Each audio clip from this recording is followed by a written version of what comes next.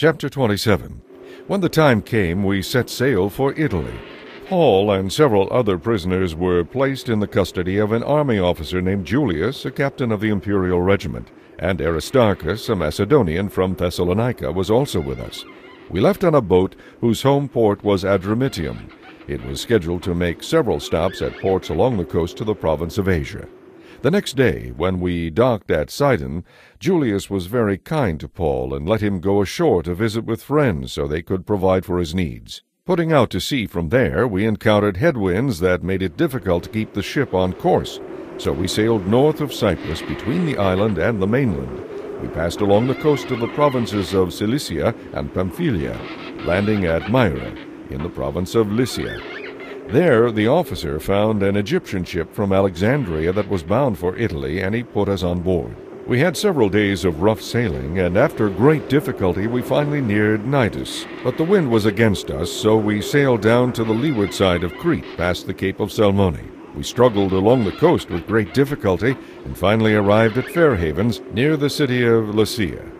We had lost a lot of time. The weather was becoming dangerous for long voyages by then because it was so late in the fall, and Paul spoke to the ship's officers about it. Sirs, He said, I believe there is trouble ahead if we go on. Shipwreck, loss of cargo, injuries, and danger to our lives. But the officer in charge of the prisoners listened more to the ship's captain and the owner than to Paul. And since Fair Havens was an exposed harbor, a poor place to spend the winter, most of the crew wanted to go to Phoenix, farther up the coast of Crete, and spend the winter there. Phoenix was a good harbor with only a southwest and northwest exposure. When a light wind began blowing from the south, the sailors thought they could make it, so they pulled up anchor and sailed along close to shore. But the weather changed abruptly, and a wind of typhoon strength, a northeaster they called it, caught the ship and blew it out to sea.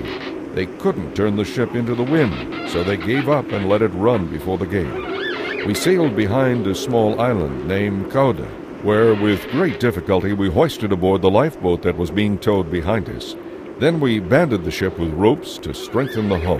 The sailors were afraid of being driven across to the sandbars of Syrtis off the African coast, so they lowered the sea anchor and were thus driven before the wind. The next day, as gale force winds continued to batter the ship, the crew began throwing the cargo overboard. The following day, they even threw out the ship's equipment and anything else they could lay their hands on. The terrible storm raged unabated for many days, blotting out the sun and the stars until at last all hope was gone. No one had eaten for a long time. Finally, Paul called the crew together and said, Men, you should have listened to me in the first place, left Fair Havens. You could have avoided all this injury and loss. But take courage. None of you will lose your lives, even though the ship will go down. For last night, an angel of the God to whom I belong and whom I serve stood beside me, and he said, Don't be afraid, Paul, for you will surely stand trial before Caesar. What's more, God in his goodness has granted safety to everyone sailing with you, So take courage. I believe God. It will be just as he said. But we will be shipwrecked on an island. About midnight on the fourteenth night of the storm, as we were being driven across the Sea of Adria, the sailors sensed land was near. They took soundings and found the water was only 120 feet deep. A little later, they sounded again and found only 90 feet. At this rate, they were afraid we would soon be driven against the rocks along the shore, so they threw out four anchors from the stern and prayed for daylight. Then the sailors tried to abandon the ship. They lowered the lifeboat as though they were going to put out anchors from the prow. Paul said to the commanding officer and the soldiers, You will all die unless the sailors stay aboard.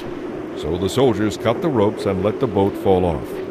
As the darkness gave way to early morning light, Paul begged everyone to eat. You haven't touched food for two weeks. He said, Please eat something now for your own good, for not a hair of your heads will perish. Then he took some bread, gave thanks to God before them all, and broke off a piece and ate it. Then everyone was encouraged, and all 276 of us began eating, for that is the number we had aboard.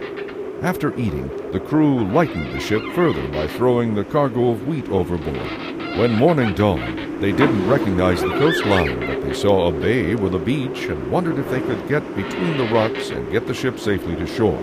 So they cut off the anchors and left them in the sea. Then they lowered the rudders, raised the foresail, and headed toward shore. But the ship hit a shoal and ran aground. The bow of the ship stuck fast, while the stern was repeatedly smashed by the force of the waves and began to break apart. The soldiers wanted to kill the prisoners to make sure they didn't swim ashore and escape. But the commanding officer wanted to spare Paul, so he didn't let them carry out their plan. Then he ordered all who could swim to jump overboard first and make for land, and he told the others to try for it on planks and debris from the broken ship. So everyone escaped safely ashore.